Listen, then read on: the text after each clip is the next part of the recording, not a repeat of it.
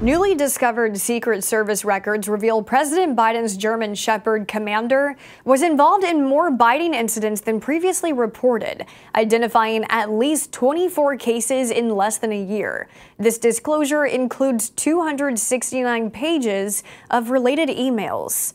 The emails highlight the extent of the incidents and the concern among Secret Service agents. At least 11 cases required medical attention. Commander was a gift to Biden in December of 2021 from his brother James. The two year old Shepherd was removed from the White House in October after a Secret Service agent required medical treatment for a severe bite.